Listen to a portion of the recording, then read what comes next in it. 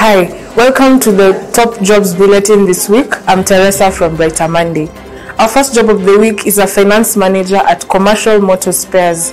At least five years of experience is needed, and an essential skill for this role is good practical experience with accounting software packages such as QuickBooks. The next job opening is for a fleet tracking officer at Takataka Solutions Limited. A key skill for this role is good geographical knowledge of Nairobi and Greater Nairobi metropolitan area.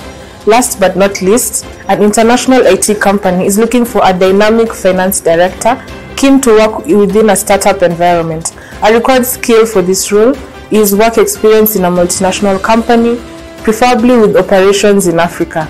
Do any of these job openings sound like the right fit for you? See the links in the description and apply today. Find other job opportunities on brightermonday.co.ke and wishing you all the best in your job applications. Have a fantastic week.